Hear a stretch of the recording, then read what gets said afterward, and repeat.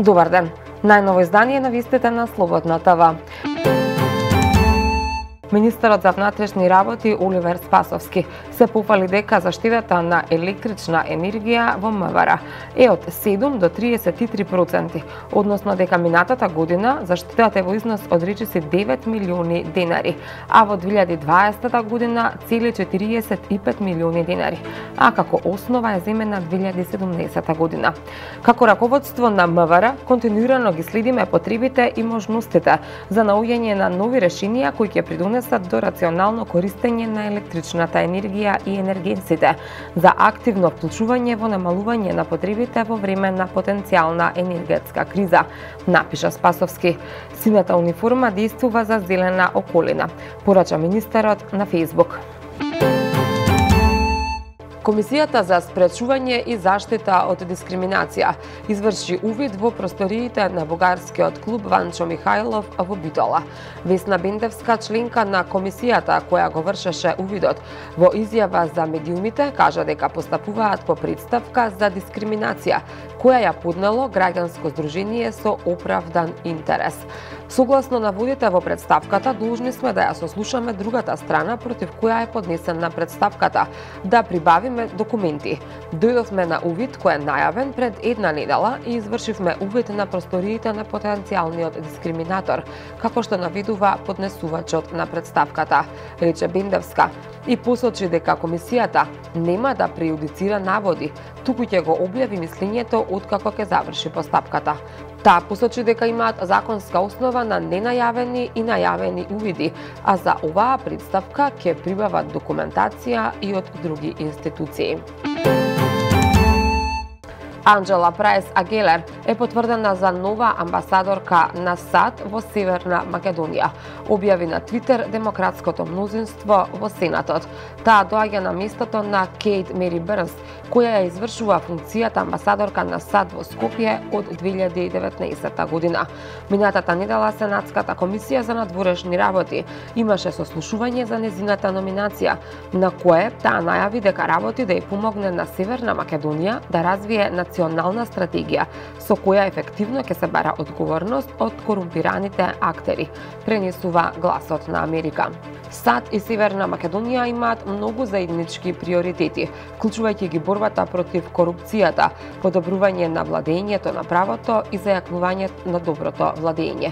Доколку бидам потврдена, ќе ги охрабрам судските реформи и ќе ги повикам институциите на Северна Македонија да промовираат транспарентност во истрагата на наводите за злоупотреба и одлучно да се спротистават на корупцијата, за да ја зајакнат довербата на јавноста во владењето.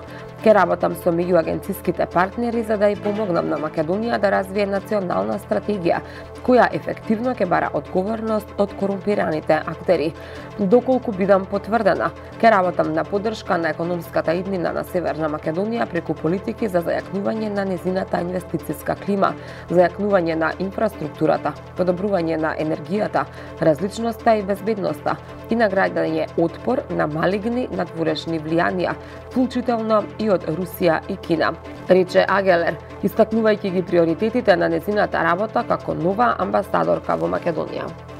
Таа исто така истакна дека САД ја поддржуваат земјава во незината долготрајна цел за пристапување во Европската Унија.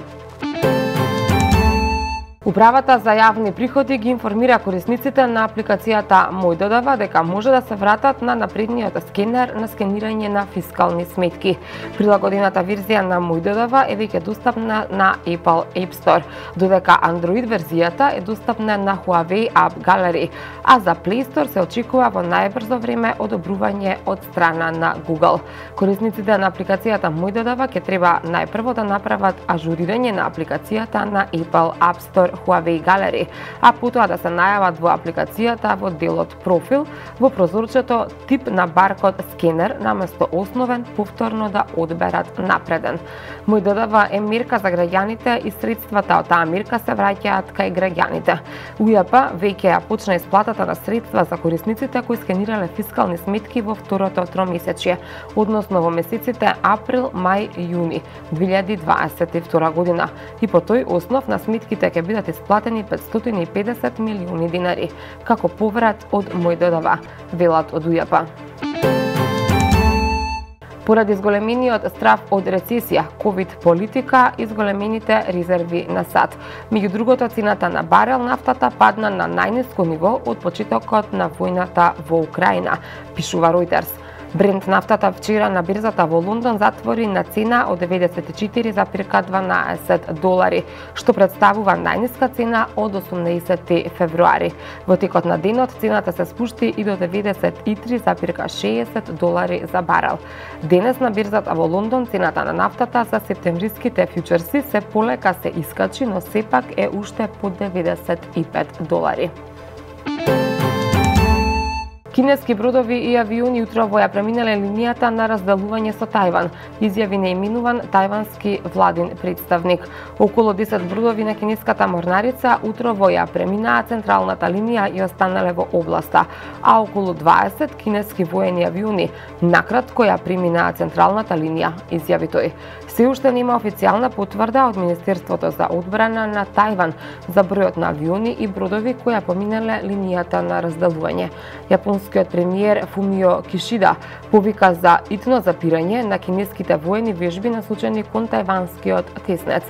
Кишида посредбата со американската функционерка Ненси Пелоси Кишида посредбата со американската функционерка Ненси Пелоси во Токио рече дека Јапонија апелира за итен прекин на воените вежби, кој тој ги опиша како сериозен проблем што влијае на националната безбедност на Јапонија и незините граѓани, принесе Гардијан.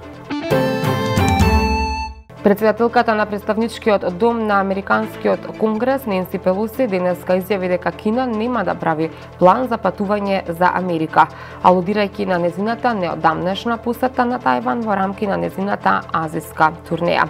Нема да им дозволиме да го изолираат Тајван. Тие не го прават нашиот патен план, а партнерството меѓу САД и Тајван е силно, рече Пелоси, а принесе Гардијан.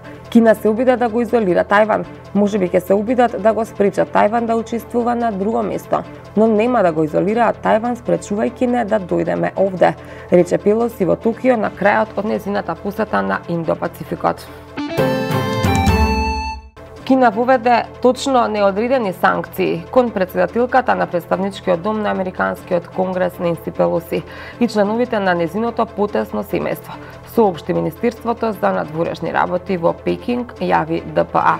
Одлуката на кинеските власти следи по вчерашната посета на Пелоси на Тајван и покрај предходно јасно искажаното предупредување дека незината посета на Тајпеј ќе се свати како провокација, бидејќи официјален Пекинг островот го смета за составен дел на својата територија, а официјален Вашингтон официјално ја поддржува политиката на една Кина.